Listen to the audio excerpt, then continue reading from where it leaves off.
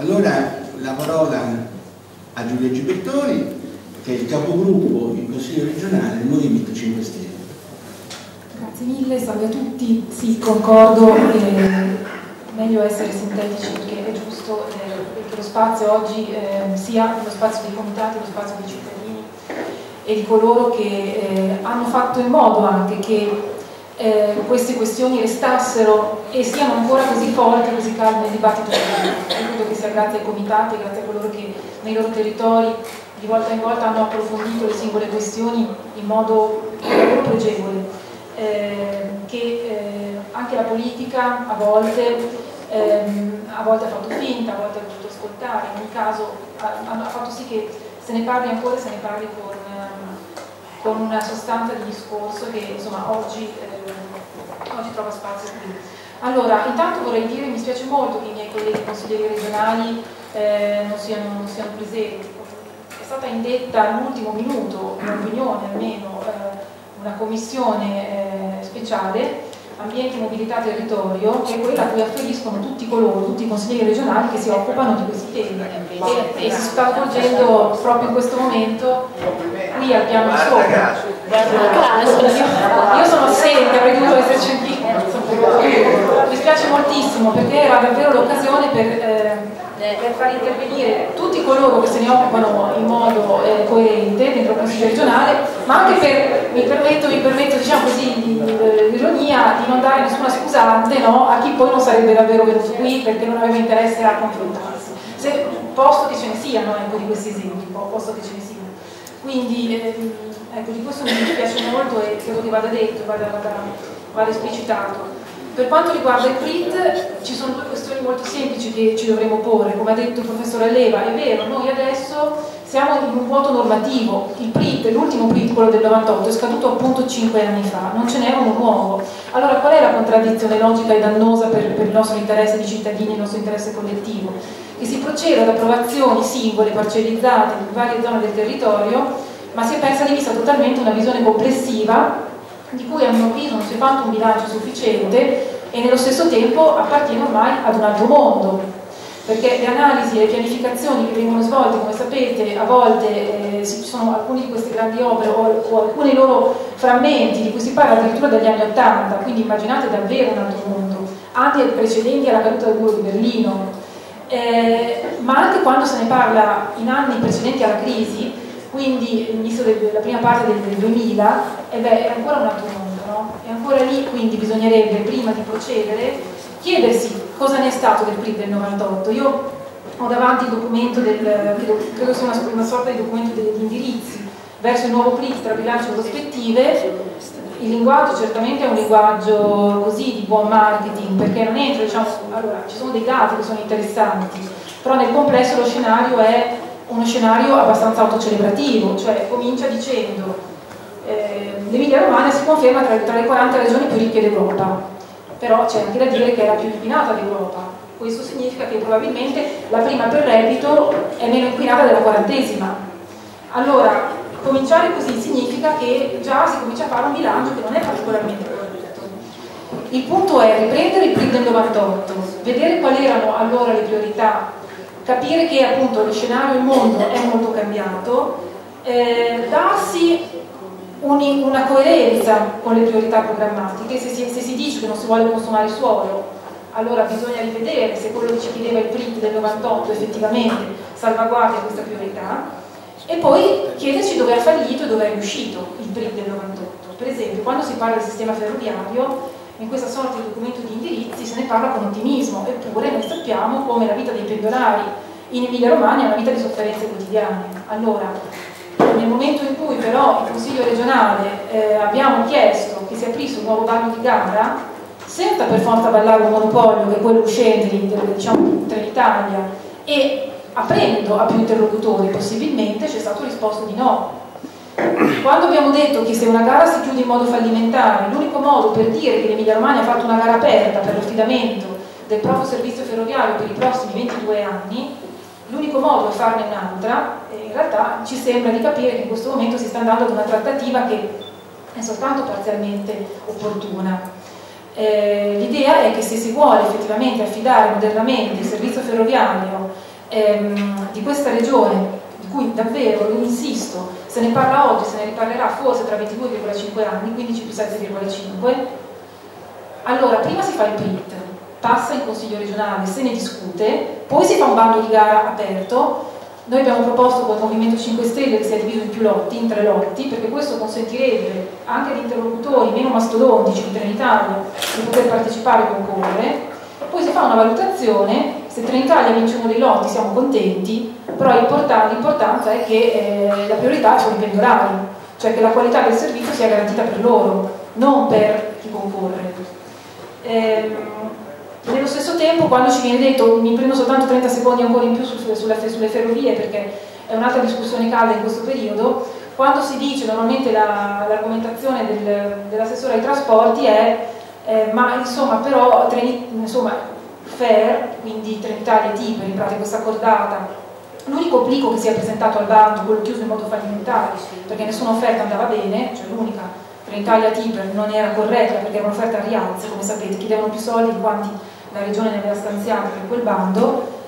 dice però, però loro ci hanno garantito che rinnoveranno al 50% circa il materiale rotabile, ossia i nostri treni, però se voi vedete questo documento di indirizzi sul PRIC 98 si parla di eh, milioni e milioni di euro, risorse iniziali 200 milioni di euro, denaro pubblico dato dalla regione, piano straordinario per rinnovare e ampliare l'intera flotta regionale e aumentare il comfort di quelli già in esercizio. Quindi delle due l'una, se stiamo pagando noi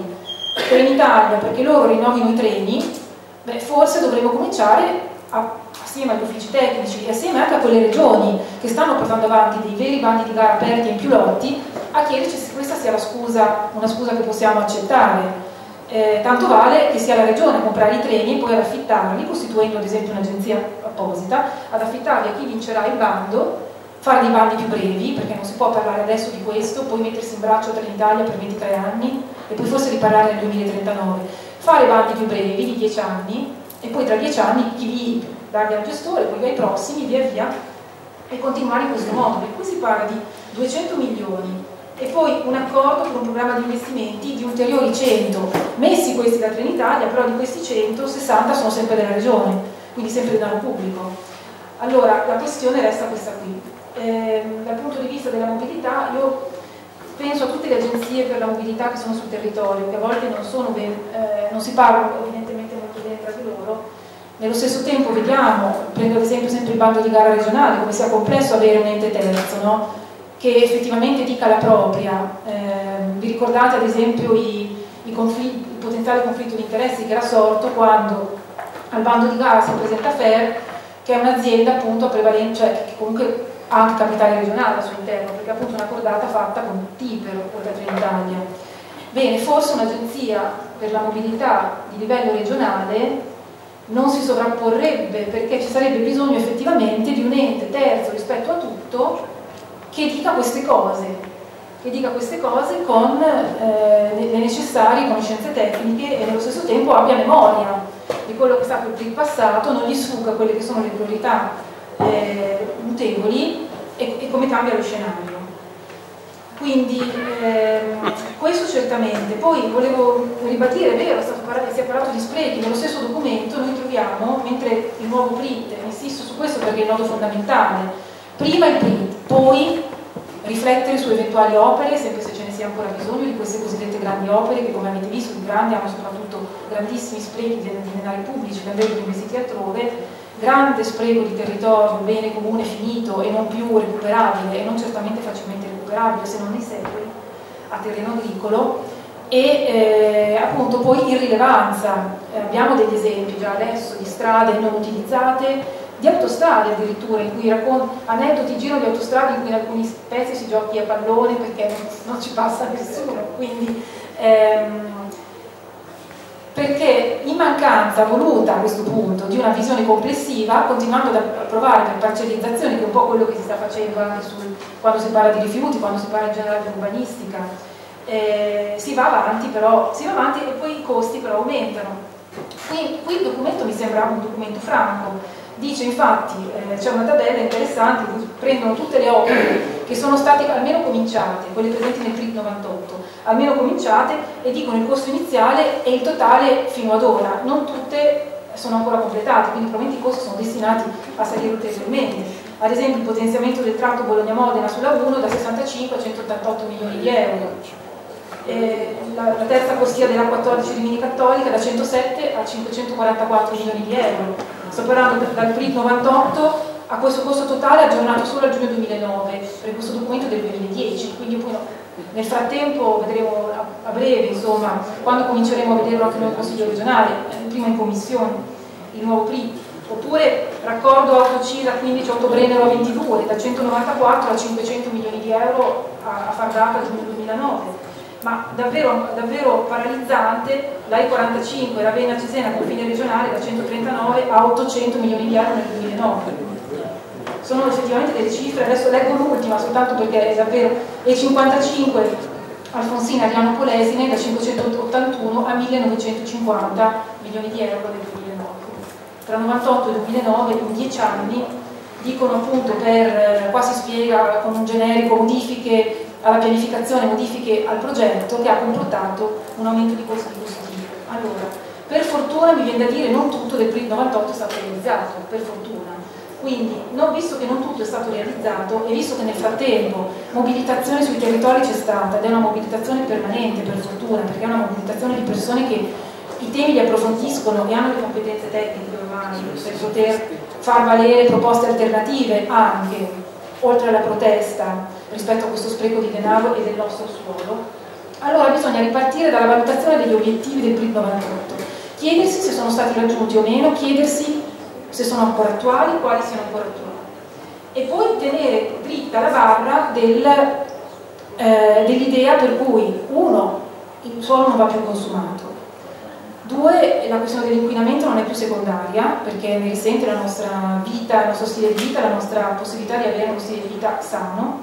e poi i cambiamenti, i cambiamenti di scenario, per cui evidentemente qua si dice in questo documento, 30 secondi chiuso, si dice però eh, non si può chiedere la diminuzione dell'inquinamento ai trasporti perché questo si deve chiedere ad altri settori, ma se questi settori non sono integrati diventa un dialogo tra sordi, per cui se i flussi delle merci, abbiamo detto, sono diminuiti, ipoteticamente i flussi delle merci dopo la crisi non possono essere aumentati più di tanto, abbiamo detto che bisogna investire sul trasporto ferroviario, si continua invece ad affidarsi, almeno insomma, nelle intenzioni e nei fatti, ultimamente ci si affida ad un, ad un monopolio che ha dimostrato di non essere all'altezza del servizio richiesto. Quindi da un lato si dice vogliamo potenziare il trasporto ferroviario, infatti dicono è il contrario, lo state, lo state, eh, um, va verso un peggioramento il nostro servizio. Dall'altro riprendiamo gli obiettivi, quelli che erano buoni, vediamo se sono stati realizzati, stralciamo, per fortuna lo possiamo fare, stralciamo quelli che ne, negli anni si sono trascinati questi dibattiti negli anni hanno per fortuna dimostrato che sono irrilevanti e ripartiamo da qui. Dopo di me sicuramente sì, qualcuno parlerà, sono convinta, anche in modo approfondito della legge obiettivo, anche questa è un'altra questione di cui eh, non, bisogna, eh, cioè non bisogna trascurare l'importanza. Ricordo a che punto siamo per quanto riguarda il PRIT, almeno mi risulta, per quello che ho potuto sapere, io l'ho chiesto anche in, in Consiglio regionale ma non mi è ancora stato detto, ehm, siamo a una fase di studio che però non è ancora passato né dalla Commissione, quindi non c'è ancora stata né l'adozione né l'approvazione. Allora il prossimo passo dovrebbe essere l'adozione da parte dell'Assemblea legislativa previo passaggio in Commissione. L'unica proposta di buonsenso che mi sembra incredibile che non, che, che non sia seguita da, da tutti sia quella di dire che si faccia prima questi passaggi qui, si rimandino adesso le altre questioni, compreso il bando di gara, vorrei, vorrei venisse fatto, ma vedo che la Regione non è dell'idea per il nostro servizio ferroviario per i prossimi vent'anni. E poi ci si chieda tutti insieme, confrontandoci con i cittadini, con i comitati a cui adesso lasciamo la parola, dopo, a cui adesso lasciamo la parola, eh, ehm, ti, di quante strade abbiamo bisogno, come ne abbiamo bisogno, di che, di che ferrovie abbiamo bisogno, siamo contenti del siamo soddisfatti del nostro trasporto ferroviario. Eh, ecco, in modo da evidenziare come diciamo, il, il prossimo print non sia soltanto un documento tecnico, ma qualcosa che, eh, di cui risente il nostro stile di vita di cittadini.